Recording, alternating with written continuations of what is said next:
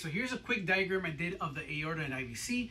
This is a coronal with the aorta being on this side, IVC being here. This is the patient's right, patient's left, superior, inferior. So let's begin with the IVC. These three vessels here are the hepatic veins. There's usually three, some variations there could be four, that drains the liver.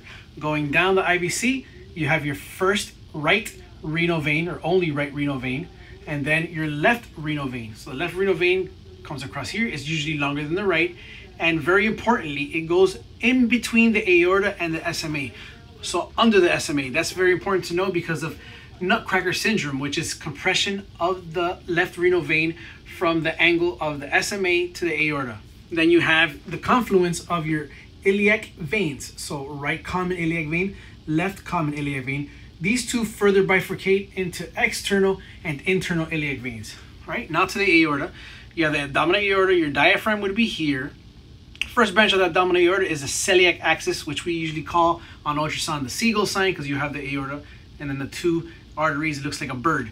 So this is a hepatic artery, goes into the liver. This is a splenic artery, goes to the spleen. This is the left gastric artery, not commonly seen on ultrasound. You can struggle and try real hard. On some patients, you may be able to see it. Sometimes the left gastric artery comes out of here, has a lot of variation. Second branch is the superior mesenteric artery, or SMA. Again, the left renal vein goes posterior to the SMA. Then you have your right renal artery, very important. The right renal artery goes posterior to the IVC. So your sagittal, you have liver and IVC, and then behind the IVC you have a little circle. That is your right renal artery. Very important to know. And then you have your left renal artery, which is shorter.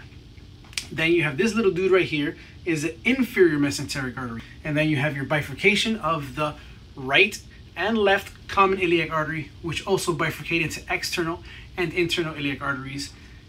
The another name for the internal iliac artery is the hypogastric artery. All right, bye.